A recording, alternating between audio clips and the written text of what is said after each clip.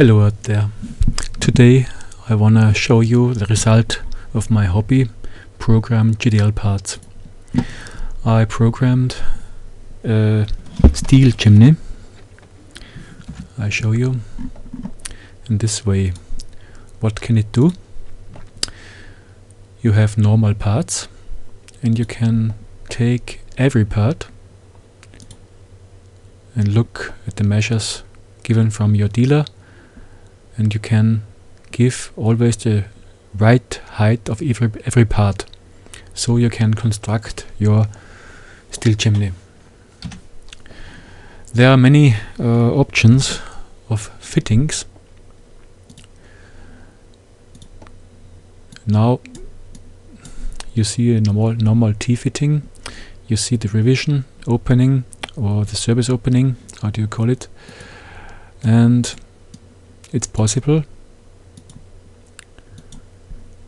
to do this this way to make the service opening and the T-fitting face to face or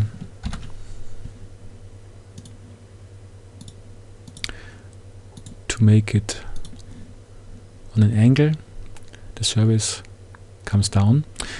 You can uh, declare where you would like to have these things and which place in the row.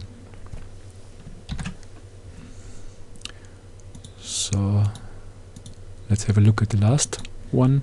It's also possible to get the fitting from down under the whole part.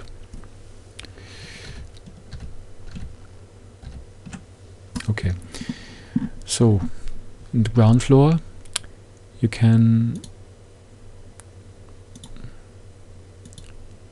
take the measures where I want.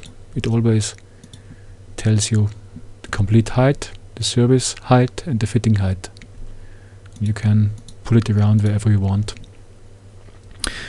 What's also possible is you can lay here the side of the uh, drawings of the side view. Wait a minute. No, that's the wrong one. This one. So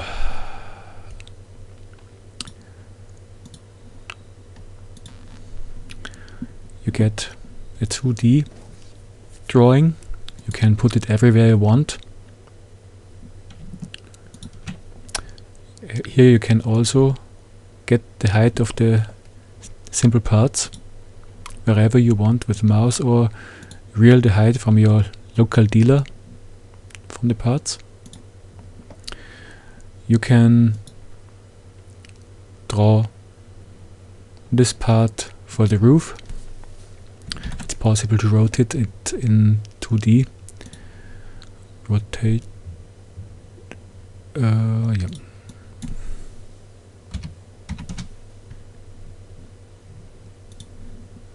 The other way around. Okay. So you can uh, always fit it to your roof.